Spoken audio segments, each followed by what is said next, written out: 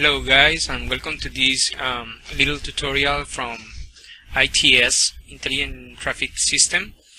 This time we are going to look at how to uh, rig your cars, your your own your own cars to the system so the, the system can use them for the traffic simulation. Right now I have this uh, new project. I already have imported uh, ITS. Uh, also this package from the asset store which is cars and trucks package. And also I have imported um, this uh, texture for uh, also let you know how to use this for simulating the, the brakes of the traffic cars.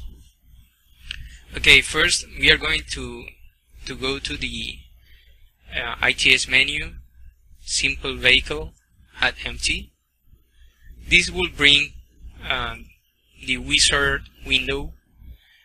Then we are going to select the prefab of the car that we want to, to rig.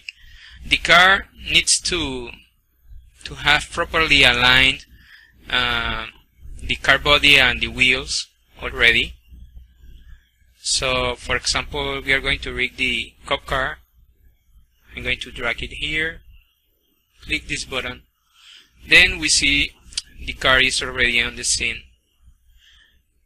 Um, usually you use this um, kind of ruler I have here to know uh, more or less the, the length of the car to see if it's um, pretty much real to the to the real world. So this car is about 6 meters in length it's a little bit bigger than normal but but it's okay. We can work with that. So if you have to change its position or the rotation you can see here the car is pointing the forward direction with this uh, blue arrow. The car has to be facing that way. If it's not facing that way you can change its rotation with this um, on any of the axes. It's better to use this tool and not to do it directly on, on the transform uh, since this is more accurate. Uh, also the position you can change the position. The idea is that the wheels should be like touching this blue line you see here. Um, and that the car should be more or less in the middle of the green line. Also if you see from the top you will see this red line which is the x-axis should be also uh, more or less on the middle of the car so this is the basics about how to to get it properly rigged. So I'm going to hit OK. Right now the the wizard is asking to select all the wheels of the car. You can do it on the scene view by clicking with um, control key and, and selecting the the wheels or you can simply go to the scene and do the same. To the hierarchy view sorry. So I have selected all my wheels of the cars. I'm going to click OK. Then you're going to see this uh, yellow sphere wire sphere which just tells you uh, the size of the collider that it's going to be used on those wheels. Uh, by default, it, it brings more or less the size correctly, so you can keep it that way. If you see the yellow sphere too big, you can decrease its size with these buttons in here. You can also change the the step for changing the size. For example, we can reduce it like this. If all the wheels you want to be that size just hit this button apply from the rear wheels and the front will have the same. If you modify this, the front wheels and want to apply to the rear just hit the button that is here. So we have the wheels now. We are going to continue. Now the wizard is asking that you have to select the game object that is going to have the um, either mesh collider or box collider of the car. In this case, we are going to select this um, object which has the mesh of the body of the car and usually is best in um, uh, perf uh, about performance to use the box collider instead instead of the mesh collider so I'm going to add the box as you can see sometimes um, the box is enclosing everything on the car. We can adjust it right here since maybe it's way too big. So we adjusted it. A bit less like this. And also I'm going to reduce a bit the length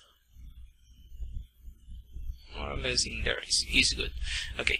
So when you have that just uh, hit continue.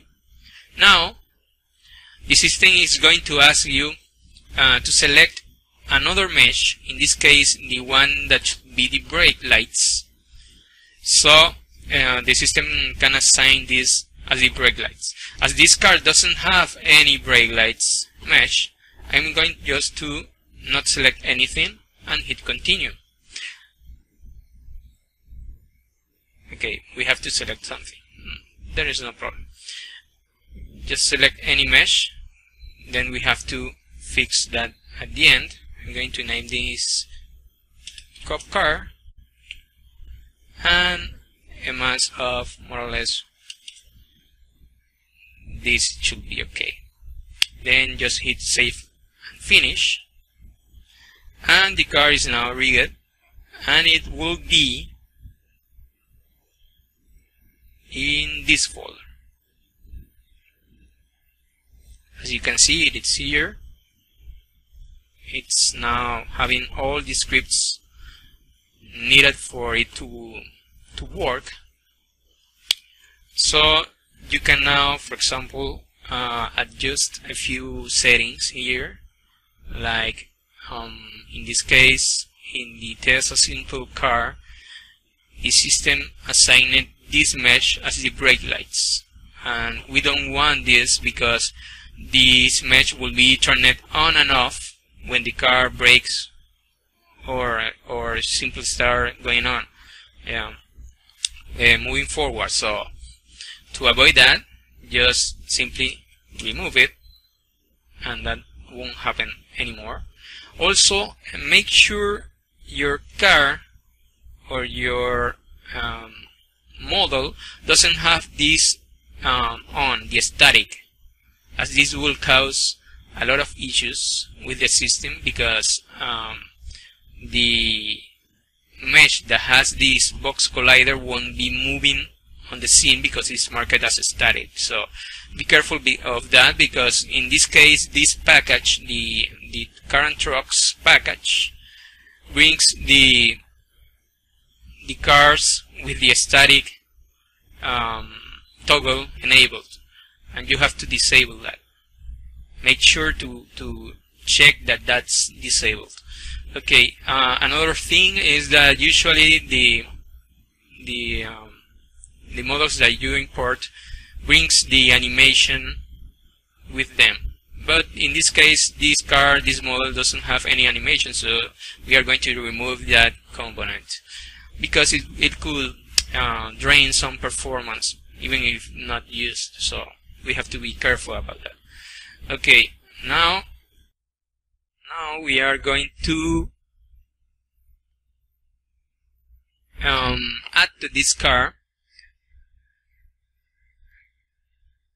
this little um, fake brake light I, I've used and imported is a simple texture like a flare and when you for example drag it here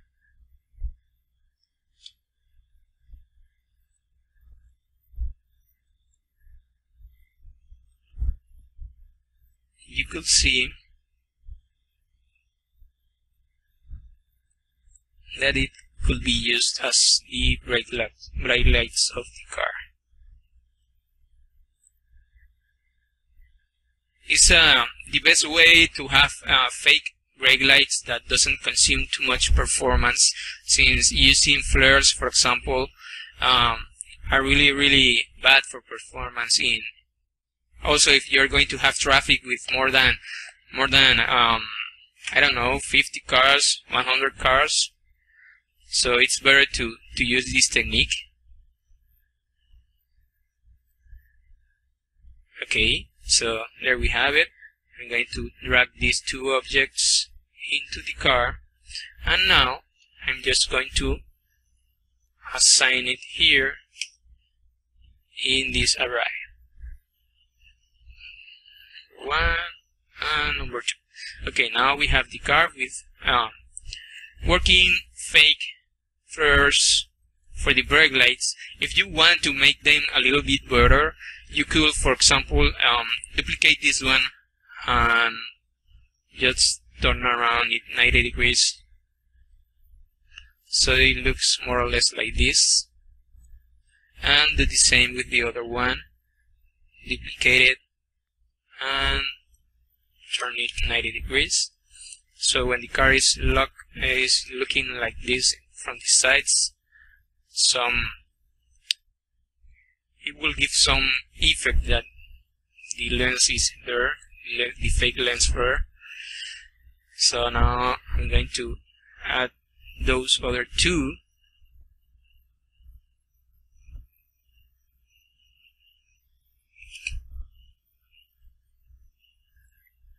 Which are this one and this one.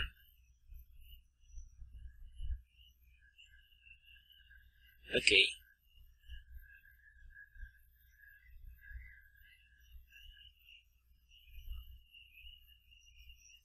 now we have the the car with the with the brake lights. And I think it's now ready just to be used on the scene. That's it. Um, if you want to add it for example I'm going to add it to the demo scene. Don't forget to apply your changes to the prefab. Okay now we can delete this. I'm going to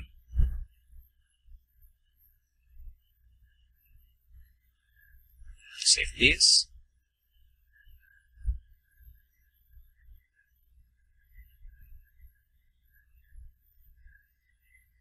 I'm going to go to the camera and add the car in here. 19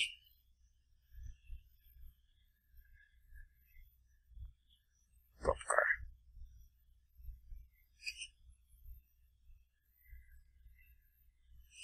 now you hit play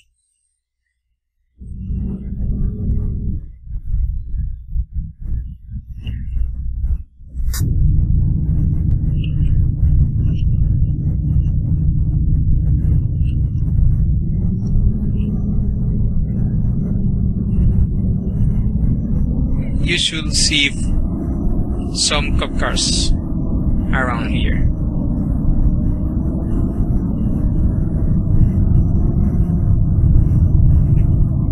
There you go. There it is. And as you can see, the brake lights are working very well. See?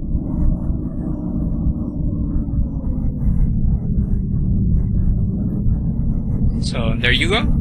That's it. Thank you for watching.